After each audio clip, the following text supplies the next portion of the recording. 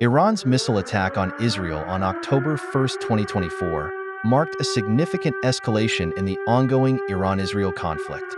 During the assault, Iran launched 181 ballistic missiles, which overwhelmed parts of Israel's Iron Dome defense system. Although Israel claimed to intercept a large number of the missiles, several locations, including Nevatim Air Base, suffered direct hits, resulting in damage to infrastructure such as schools and restaurants, and minor injuries. The attack was reportedly in retaliation for Israel's earlier assassinations of key Iranian and Hezbollah figures. From a strategic perspective, Iran demonstrated its ability to coordinate large-scale missile strikes and partially penetrate Israel's highly regarded air defense systems.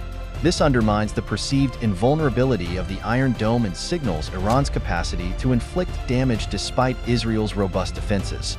It also showcased Iran's willingness to escalate tensions following targeted killings of its allies.